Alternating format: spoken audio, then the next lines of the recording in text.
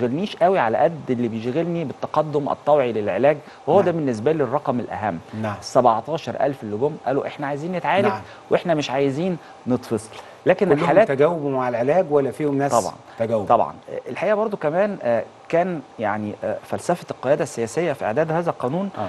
إن إحنا لازم ندي ست شهور فترة قبل ما نطبق الفصل آه علشان الناس تلحق عايزة توفق أوضاعها وتتقدم للعلاج كويس. أنت بقى النهارده مش عايز تتعالج آه. خلاص أنا مش هقبل نعم. اللي أنت تكمل لأن نعم. موظف الجهاز الإداري للدولة ليه مقومات يجب أن يلتزم بها ولا كويس. يمكن إن الدولة تقوم والموظف يتعاطى مواد مخدرة في آه، مكان خدمي أو مرفق حيوي أو أي مرفق في الجهاز الإداري للدولة كمان سواقين المدارس على آه. فكرة عملنا ملف. آه الرقم كان صادم آه. في 2017 كان في حادثة في البحيرة. آه. آه على الطريق. على الطريق أيوة. وعصفت بحياة آه. 22 صحيح. آه طالب. طالب صح. الحقيقة حصل آه تكليف من الحكومة إن صندوق مكافحة وعلاج الإدمان ووزارة الصحة ووزارة التربية والتعليم ووزارة الداخلية يعملوا حملات مستمرة. الحملات دي إحنا كل سنة بنكشف على 16000 سواق أتوبيس مدرسة. كل سنة. كل سنة. لما كشفنا في 2017 كانت النسبة كام؟ كام؟ 12% 12% من المسؤولين عن أرواح أولادنا كانوا بيتعاطوا مواد مخدرة في 2017 17. دلوقتي النسبة كام؟ 6 من 10% ستة من عشرة. 6 من 10% السر هنا يا أستاذ أحمد في فكرة ده الاستمراريه في إنجاز. الاستمرارية هي اللي آه. تحقق الإنجاز. لأن النهارده الحكومة مش بتشتغل على هذا الملف بنظام الفلاش. آه. إحنا مش بنطفي حريقة ونمشي. لا. نعم. إحنا مستمرين في هذا العمل بمنهجية آه، وبقواعد بيانات محكمة ويعني بإطار مؤسسي بتتعاون فيه كل الجهات ولادنا في إيد أمينة دلوقتي.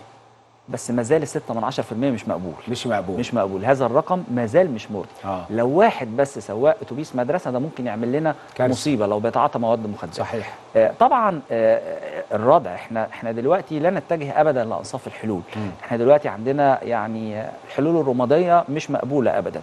فسواق أتوبيس المدرسة اللي بنلاقيه ايجابي تحول نيابة عامة وبيتفصل عن مدرسته لأن في أمور الدولة لن تتهاون فيها ابدا في الفترة آه ده بيروح النيابه بيروح نيابة عامة عامة. وبيتفصل آه. عن آه، مدرسته. قضية. طبعا طبعا قضية طبعا. نعم. ويعني زي ما بقول لحضرتك في أمور إحنا مش هيبقى فيها تهاون على الإطلاق في الفترة الحالية لأنها بتمس أرواح أبنائنا أو أرواح المواطنين بشكل عام. لما بتروحوا مفاجئ بتروحوا يعني تستهدفوا حتة معينة بالظبط بتعملوا إيه؟